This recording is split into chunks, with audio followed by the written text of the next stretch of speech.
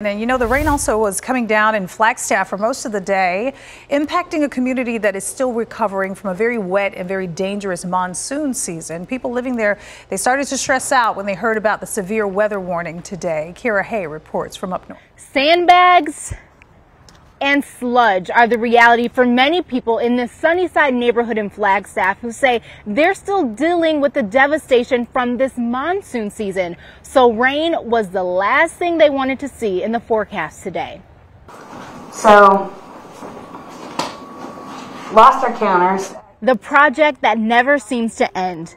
Lindsay Cooch says the August 17th flood on the museum burn scar destroyed her home.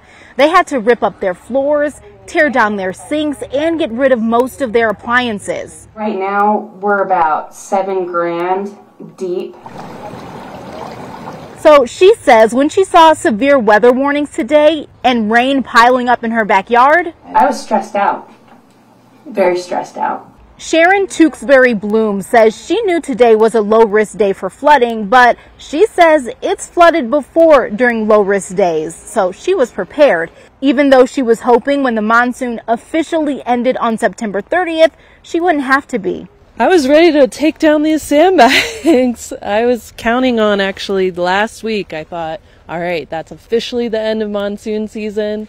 I am ready. We're going to have a wall opening party. I'm going to take down the sandbags.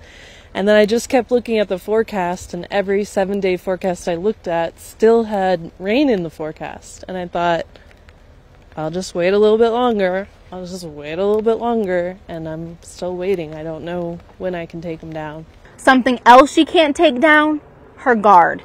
Tewksbury Bloom says she plans on attending a meeting tomorrow where Flagstaff's mayor and officials with Coconino County will learn if the city will receive federal funds. What what can we do with the state legislature? Are there funds that we need to appropriate?